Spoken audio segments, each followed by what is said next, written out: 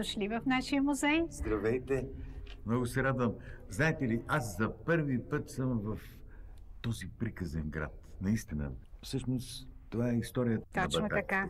За мен е удоволствие наистина да ви разкажа историята на моя роден град. Това е едно свято място. Добре. Започваме. Най-лесният начин Да. човек да се запознае с културно-историческото наследство на община Батак, това е като посети нашият музей.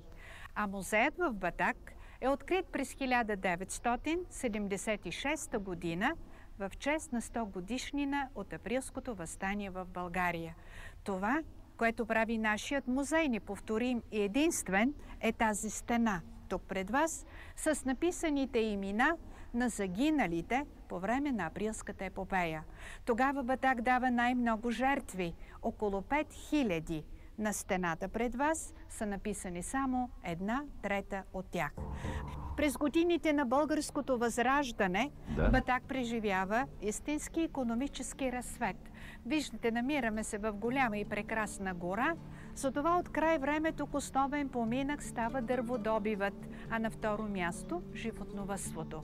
В нашите околности на времето са работили над 200 дъскорезници, така наречените чаркове, Да. където с помощта на силната балканска вода се е обработвало дървото. А това са секири, така? Уникални са сечивата на мъжете Да, ни по време на дърводобива.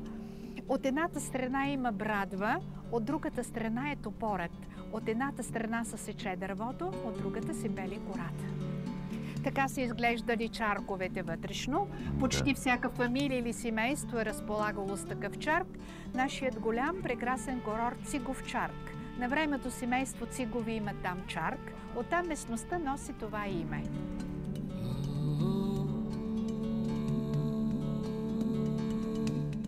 Априлското възстание е обявено тук в Батак през нощта на 21 април. Десет дена след това Батак е свободна република. Напълно независим и напълно свободен от законите на турската власт. Ето така са изглеждали баташките възстанници. Мгм. Това са тяхни оръжия, останали от тогава. Само 10 дена Батак е свободен. На 30 април в неговите околности осъмва 8000 турски башибозук. Обърнете внимание, тук не идва редовна турска армия. Башибозукът е наемна, която се събира в определени моменти. Водач на Башибозукът тогава е Ахмет Ага Барутандията, чиято заповед е била да се пресуши коренът на батачани. Оттам насетне, в продължение на пет денонощия, боевете преминават през всяка къща и двор. Цялото село, обхванато от пламъци, навсякъде трупове на изгорени или изклани хора. Изгаря училището ни. Свети Свети Кирил и Методи. По това време в Батак учител е Димитър Тонжоров. Самият той съсечен жив пред хода, опитвайки се да спаси по някакъв начин затворените вътре съвсем беззащитни жени и деца. Последна крепост, последно убежище за хората става църквата Света Неделя. Два дена и две нощи продължават боевете в двора. Много от възстанниците са убити там, а вече третия ден останалите живи се затварят вътре. Представете си ги натикани един върху друг. Майките са държали децата на раменете си, само и само да освободят още малко место, да се скрият повече хора.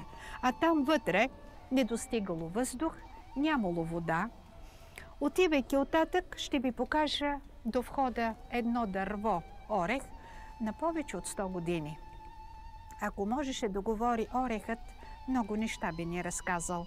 Но дядото тогава ги посъветвал със следното, че щом в двора има дърво, непременно в съседство, би трябвало да има и вода. Тогава вътре майките, жените започват да копаят с голи ръце и ногти кладенец, да спасяват рожбите си от тридневната жажда. Било месец май, суша, вода ни открили.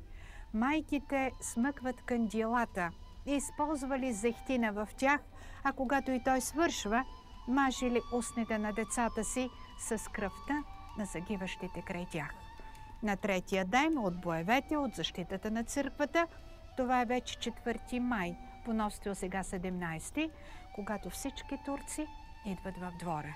А те докарват със себе си коли с лама, тиники с газ и кошери с пчели. Наред с куршумите, които хвърлили вътре, те пуснали пчелите и хвърлили запалената слама. Вътре цялата дървена част и иконостасът пламват. Всички тези пушеци, пламъци, пчелите, принуждават хората да отворят трите врати за въздух. Тогава погледнете, започва страшна и ужасна борба.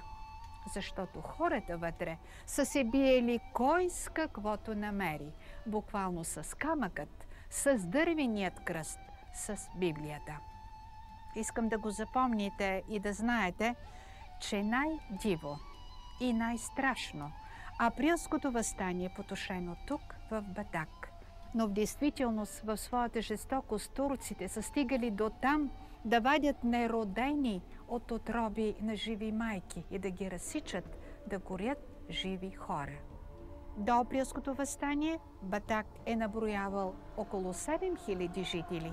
След възстанието, след клането, оцеляват едва 1200. Как е изглеждала църквата Света неделя през годините? На заден план с кости е надписът Останки от 1876 година. Долу снимката е част от нейната вътрешност на същата църква Света неделя. Фотографията е правена 3 години след априлското възстание от пътуваш пловдивски фотограф Кавра. И на фона на тези зверства – пред вас е ятаганът на Ахмед Ага, барутан лията. Ятаганът се е продавал на търг в Цариград. Тогава го е закупил пловдивски евреин. След години достига най-напред в музея в град Панагюрище, а после колегите го подаряват на нас. А съдбата на Ахмет Ага е страшна – Веднага след априлското възстание за особени заслуги към Османската империя, той е повишен в чин Юзбашия. Но след отзвукът за зверствата в Батак и по време на априлското възстание, той е осъден в Диар Бекир на заточение, разболява се от проказа и умира от тази страшна болест. Боже, колко ли глави секла тая сабе? Това, в... което ми говорите, е по-страшно от най-страшните антични трагедии. А кой болен мозък твърдеше, че в Батак не е имало клане? Е, това беше един немец, Бумбайлър, Мартина Балева, които говориха за така нареченият мит Батак. Германеца и тая българка идвали ли са тук в този музей? Идваха. Ага. И това също нищо не им говори. Това е мит, така ли? Това са Това е фотографии мит. така въобще. Това е мит. А клането в Батак със своята жестокост наистина разтърсва съвестта на цяла Европа. Батак става център на европейският печат, започват вълненията в Русия. За Батак започва да пишат Достоевски, Тургенев, Гарибалди. Викторио Го произнася реч във френският парламент. Само два месеца след клането – в Батак пристига Европейска комисия, ръководена от американският генерален консул в Цариград тогава Юджин Скайлер, руският княз дипломат Церетелев, чийто паметник е на площада, и още военният американски кореспондент на вестник Daily News Магахан. Когато османското правителство чува за тази комисия, страшно много се изплашва. Защото по това време в църквата Света неделя, вътре стените, почти до 2 метра височина, са били в кръв. Тази кръв на изклани бадач не била най-страшното обвинение срещу разпадащата се Турска империя. Те изпратили тук свои хора да замаскират част от това. влизат и почистват хоросана в църквата до 2 метра, а телата на загиналите, вътре в сградата, навън в двора, обилно посипали с пръст. Когато пристига тук Европейската комисия, копитата на конете им изривали изпод земята женските плитки, детските глави, телата на полуизгнилите батачани. Миризмата се е носила на километри, а когато Мага хан отваря вратата на църквата Света неделя, после пише в своите репортажи, обиколили света под името Батак, долината на смъртта и хората без сълзи, че влизайки вътре, не може да спре своя човешки поглед повече от един миг, защото той пише навсякъде ужаси, ужаси, само ужаси. С тази Европейска комисия в Батак идва и една англичанка, Леди Странгфорд. До този момент оцелелите батачени от клането, около 1200 човека, се скитат по гората. Научавайки, че в селото са пристигнали някакви хора, те набират кораж и смелост и слизат. Англичанката Леди Странгфорд строи първата болница тук и в тази най-тежка зима за тези оцелели батачени, защото те се разболяват от тиф, тя ги лекува със своите медикаменти и ги спасява с храната, която е приготвила. В резултат на всички тези събития, през 1877 година избухва руско-турската война, която донася свободата на България. Но много точно и много хубаво го е казал нашият български поет и писател Иван Вазов. Излишно е да добавим, че без Батак нямаше да има свободна България. В църквата Света неделя пазим парчета от истинския дръвник, останал още от тогава – овъглени парчета, напоени с кръвта на избитите, върху който са изклани отказалите да приемат исляма. Художникът на музея е показал символично как е било клането, как е било някога. Тези дръвници са стояли на много места в селото. До тях изсипани на купища турски шапки, фесове. Мъжете ни трябвало да изберат тази шапка, която означава нова вяра, нова религия или това, което означава смърт. Чухте ме, 5000 загиват тук. Всички в смъртта си остават българи. Това беше и поводът преди 4 години Българска православна църква да провъзгласи великомъчениците на Батак като новите светци на България. Затова вече в църквата Света неделя ние ще се поклоним пред тяхните мощи и ще видим патронната им икона. Това е долината на светците.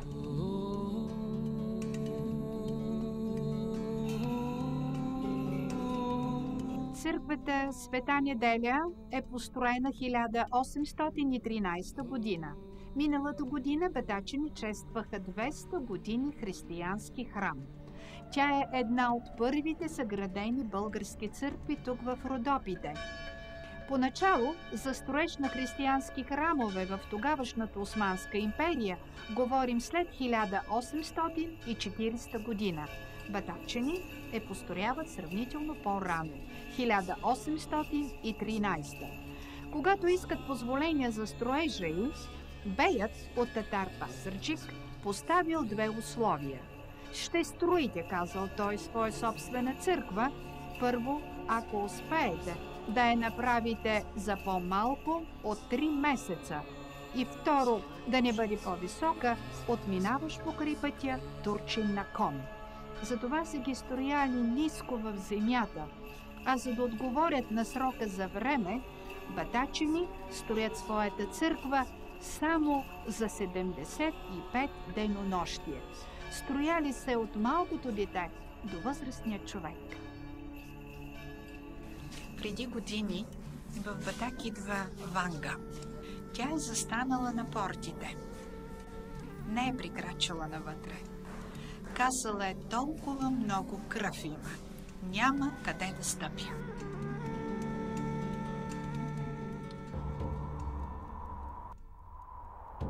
Ето това е Баленовата къща. Тя е типичен образец на баташката архитектура. А, разбира се, а, къщите от епохата на Възраждането всички са били попилени в погрома на априлската епопея. Тези къщи са изграждани наново, А, наново? обатачени след освобождението. Специално Балиновата къща е изградена периода 1890-92 година. На пръв поглед тази къща изглежда много голяма и а, всички мислят, че тя в нея са живеели богати хора. А всъщност тя е двуфамилна. В нея са живеели семействата на двама братя. На Ангел и Иван Балинови. Затова и Балиновата къща. Значи всяко едно от семействата е имало всекидневна, гостна стая и едно помещение за склад, което в Батак наричаме кличина. Къщата и до ден днешен старите батачени на всекидневната и казват къща. Познавате ли този уред и Да. можете ли да се досетите за какво е служил? Ами за печене на кафе. Аз съм стар кафеджия. Да, Даже ма- имах един по-съвременен, разбира се. Да. Но забравих как се казваше. Казва се долапче. А, но бе- долапче. Долапче, в Батак го наричат долапче, но основно се е използвал за пукане на пукане. А, Тук се слага царевичката, долапчето се затваря и след това опираме на главника, отдолу на мечката, на мечката, отдолу има жар или нагрява там огъня, върти се и пуканките се. В Балиновата къща от 1986 година Исторически музей Батак е разположил своята етнографска експозиция. Тя се опитва да разкаже на всички а, наши гости и посетители как са живеели старите батачени в края на 19 век и как е продължил животът им до 40-те години. Старата баташка приказка казва Лена облича къщата. От лен са се правили дрехите, от лен си правят чергите, от лен си правят по-груби платове. Обработката на лен е много, много трудно и дълго занимание. Има една приказка за умната баташка мома, как се е спасила от дявола. Тая приказка се казва, че дявола е идвал всяка вечер да краде по една баташка мома. Дошъл реда и на момата и тя го очаквала. Почнала да му разказва колко обработки прави на Лена, докато облече дрехата на нея или докато изплете или изтъче хубава тъкан. Минал полунощ и дявола е изпуснал момата. Така се спасила, като му разказала как се отглежда и как се обработва лен. Това е като помещение е другата къща или другата всекидневна на другото семейство. Тук има огнище, гледам. И тук има огнище, значи в цялата жилищна част има само две стаи с огнище. Там се приготвя храната. То е служило и за отопление. А хляба е? Хляба се приготвя в а, къщата от домакинята задължително веднъж в седмицата. Тя е На къде длъжна. пак тук ли е? Ами месенето става тук. В повечето баташки къщи а, пеща е била в самата къща, но точно в Балиновата къща тя е долу на двора. Ама, извинявайте, ама аз наистина за първи път виждам такава пеш, защото той е като детска рисунка. Толкова е красиво. А сега искам да ви помоля да дойдете да ми направите една снимка и там. Готова ли сте? Добър ден, заповядайте в етнографския музей. Нашата разходка в музейния комплекс продължава към третия ни обект. А това е още една уникална къща. Образец както на архитектурата от Възраждането, така и от този тип къщи, за които казват, че разказват много истории. Ли? Тук в ме... Да, това е Шаровата къща. А Борис Шаров е известен художник през а, 50-те, 60-те години. Благодарение на дарението, което прави на музея, голяма колекция от картини, днес музея в Батак има една прекрасна а, художествена сбирка. Музея в Батак е разположил в тази прекрасна къща своята музейна галерия. Тук се среща минало и настояще по много, много интересен начин.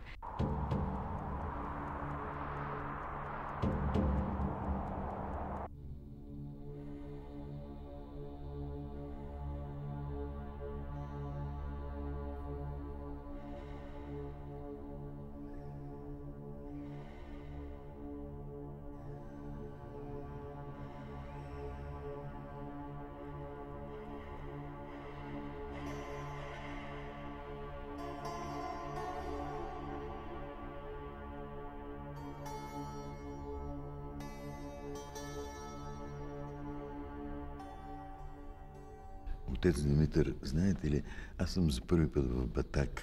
За нас е изключително приятно, че не гостувате в богоспасаемият ни град. Посетих най-хубавите тези невероятни църкви, но успях да посетя и параклисите, които наистина са някаква гърлица на духа около Батак. В е, околностите на град Батак имаме 15 параклиса. Параклис Свето Успение Богородично. Параклис Свети пророки Илия. Параклис Свети Димитър. Храм Свети Архангел Михаил.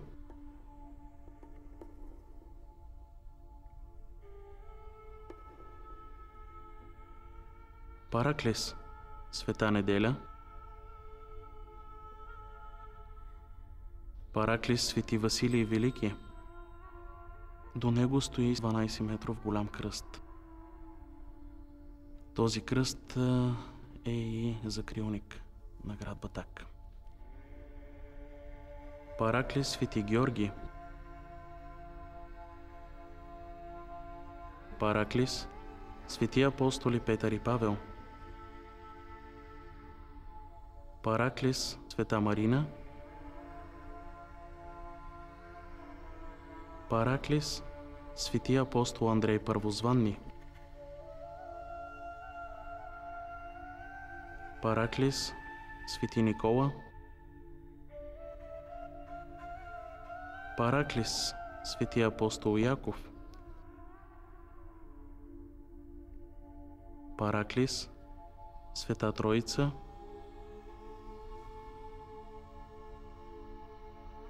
Параклис Свети Пантелеймон.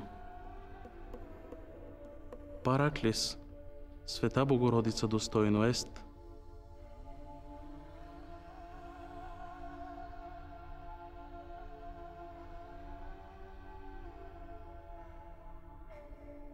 Впечатлива е архитектурата на вашия храм. Кой е архитекта? Йосиф Шнитер, който изцяло подарява проекта и храмът ни е построен 1907 година, а неговото освещаване предстои в 1912 година. Интересното за този храм е, че е с кръстокуполна форма. Тоест, погледнат отгоре от височина, самата църква представлява формата на кръст. И е така един умален модел на Свети Александър Невски, нашата най-голяма катедрала. Намирайки се в а, този стародавен дом Божий, а именно посветен на света Великомученица Неделя, не може да не отбележиме, че през а, 1876 година тук са загинали мъченически множество батачени. През 2011 година Светата ни Българска православна църква, а и други поместни православни църкви, заедно канонизират мъчениците от Батак. Тоест вече под едно общо име баташките свети мъченици. Пред а, техните свети мощи, пред които се намираме в момента и пред тяхната свята икона, ние трябва да отправяме най-вече молитва. Молитва за нашият мир, за нашето здраве и най-вече за нашето душеспасение. Святи крепки, помилуй Знаете ли, тук на вратата, на входа, има една плоча, на която прочетах нещо, което много ме впечатли. Това е една мисъл на отец е, Гичев, който е 53 години бил свещеник в този храм. Мисълта е следната. Живеем ли, умираме ли, Господни сме. Със своето богато природно, културно и историческо наследство, Община Батак ежегодно привлича хиляди туристи. На територията на общината е разположен курортен комплекс Язовир Батак. Със своите природни дадености и множество хотели, курорта предлага целогодишно възможности за отдих, къмпингуване, зимен и летен туризъм, лов и риболов, спорт и развлечения в свободното време. Аз съм отново в рая, в Цигов чарк и съм особено щастлив, че се запознах с господин Мерджанов който е собственик на семейния хотел Етерно. А защо се казва Етерно хотела? Това е италианска дума, която означава вечност. Хотел разполага с а, 10 двойни стаи, 5 апартамента, сауна и джакузи, релакс зона и с идеална гледка към язовир Батак.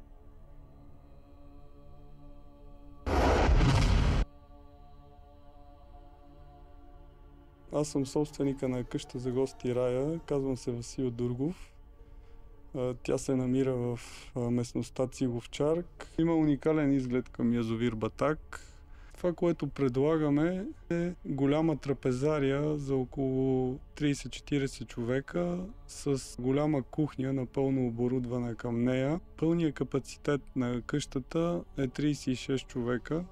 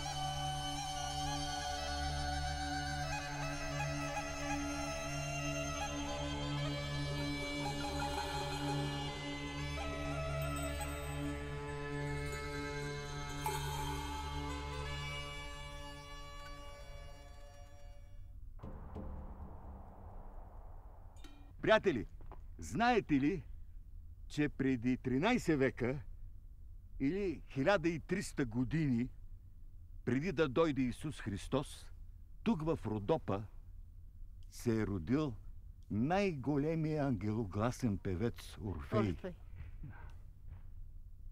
Батак е в сърцето на Родопа. Да, така е.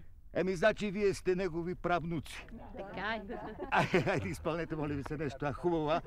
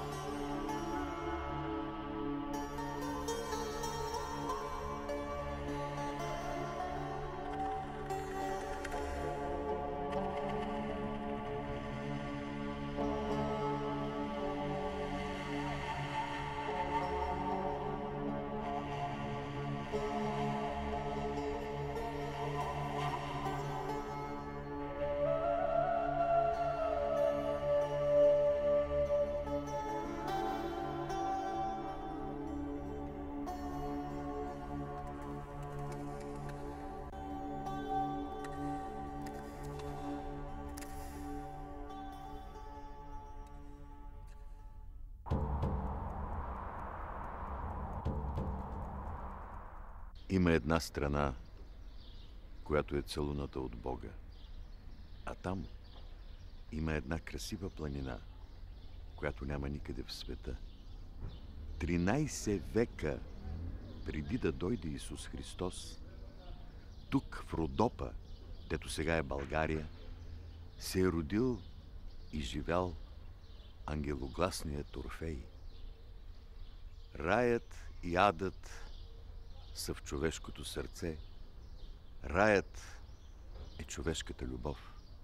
Адът – невъзможността да обичаш, казва Орфей.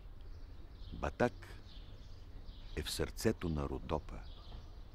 И трите думи Христови благодаря, прости ми и обичам те, без които нашия живот би бил немислим. Ето за това ви поканих да дойдем заедно в Батак. Благодаря ви. Простете и обичам ви. Ще се видим пак в Батак, нали? Елате в сърцето на Родопа.